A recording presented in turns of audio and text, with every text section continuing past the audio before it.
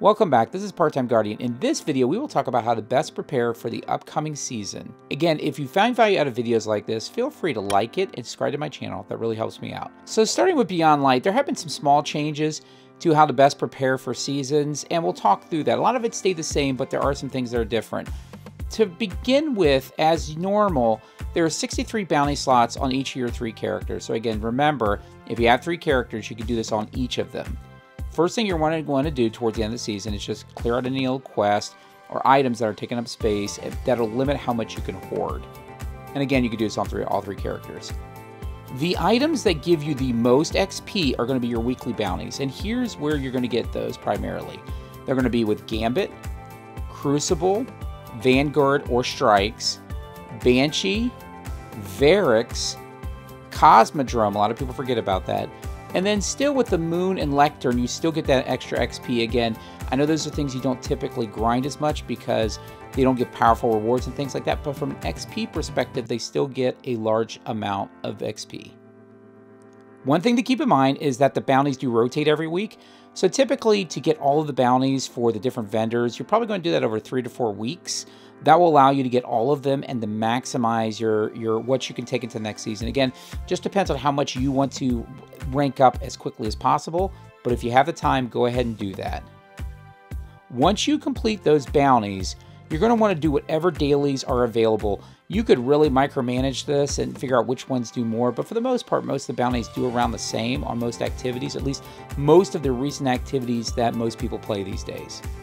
One thing to be careful about is as you get into the next season, and I'll talk about this in a future video, when you're actually trying to turn those bounties in and you're trying to maximize your powerfuls, you're going to want to make sure you have, or at least you turn in, only seven bounties for specific areas, or you will impact your ability to do powerful rewards in the next season. Those areas are the Vanguard, Crucible, Gambit, Banshee, and Variks. So for those areas, make sure you're only turning in seven bounties in the next season. The other thing that typically happens between seasons is when you start a new season out, there's a lot of things you have to buy, potentially other upgrade materials or things like that, and you'll need a lot of glimmer. So one of the things I like to do towards the end of the season, because there's not as much going on, is I like to hoard glimmer. And one of the best ways to do that is to go in and buy ships, like for instance, the Vala's Authority. That specific ship even though it costs a little bit more, it's like 7,500 to buy, then 5,000 Glimmer on the other end. The good thing about it is it's a pretty decent exchange rate. And then the next season, when you maybe don't have as much Glimmer, you'll be able to turn those in and get Glimmer really quickly. One of the other reasons to do that is in the new season, when you're running new activities, you're to get a ton of Glimmer.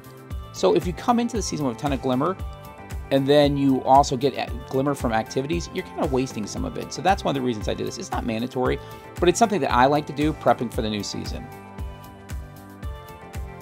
Another thing you could do to support this is, again, towards the end of the season, I sometimes you'll break down shaders, just keep them because they're almost like a bank for Glimmer.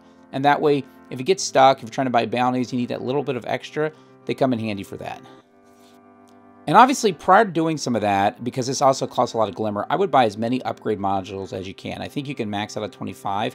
If you can get that, that's great. If you can't, don't worry about it. You will get some on the seasonal rank for the next season, but I would buy as many of them as possible because you will be at some point upgrading your your armor that you brought in that you really like and trying to maximize it. So you're really going to need to have some upgrade modules to do that. In addition, you'll want to go to Spider and trade in materials because one of the things about upgrade modules is they do require not only glimmer, they also require materials. So you want to make sure that you are, are not necessarily maxed out on everything, but make sure you have a good spread of materials. And if you have a lot of shards already, that's an easy way to do that. In an upcoming video, I will go over the power grind in a little bit more detail for next season. But this is basically what I do to prep. And again, it really depends on how much you want to do. You can do as little as you can or as much as you can. But again, it just depends on how quickly. Not only do you want to get your seasonal rank up, right? Because with your seasonal rank going up higher, you'll actually get to some of the other armor that you can use to boost up your power as quickly as possible and you'll also get other things like XP increases and things like that. And again, we'll talk about that in the next video because then we'll talk about once you do this prep, how to best use it in the upcoming season. And that'll allow you to get your seasonal rank up and to get to hard cap as quickly as possible so you can start getting those pinnacles done. So again, that's the video guys. If you like the video, I really appreciate like or subscribe. Feel free to get into the community and let's talk about what you want to see next. And I'll see you Guardians in the tower.